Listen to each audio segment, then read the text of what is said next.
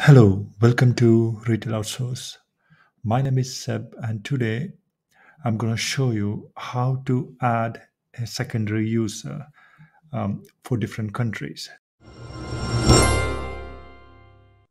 So, if you are selling on Amazon um, US, for example, that's your parent country, that's where you register your Amazon account, and you are selling on different other countries like uh, Amazon Europe, Amazon U- UK, Amazon um, Australia, Amazon Japan. So instead of giving individual um, access to the secondary users, you can do that um, from your main account. So I'm just going to show you how to do that. The first thing that you have to do is to log into your Seller Central. Make sure that it's your parent um, uh, country. That's where you register your main account. In this case, it's um, uh, UK. And then you have to go to settings and from settings you have to click on user permissions. Click on user permissions. So what you can do when you can add as a new user if you're adding a new user then you can fill in the details and then make sure that you tick this option add to global account. That means they will be able to see all the all the countries that you're selling. Okay.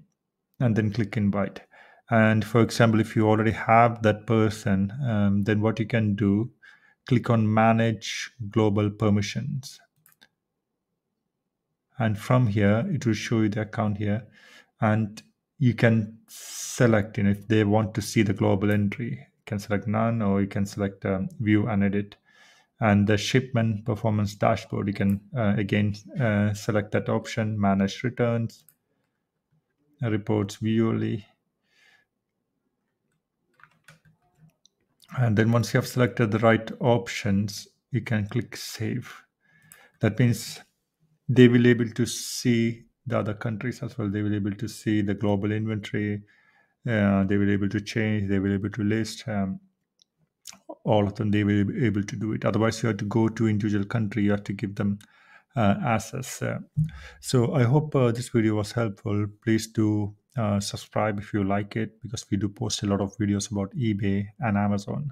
Thanks a lot for watching. And remember, if you sell on eBay or Amazon and have a few questions, then you can also book a free 30 minute consultation from the link in the description below.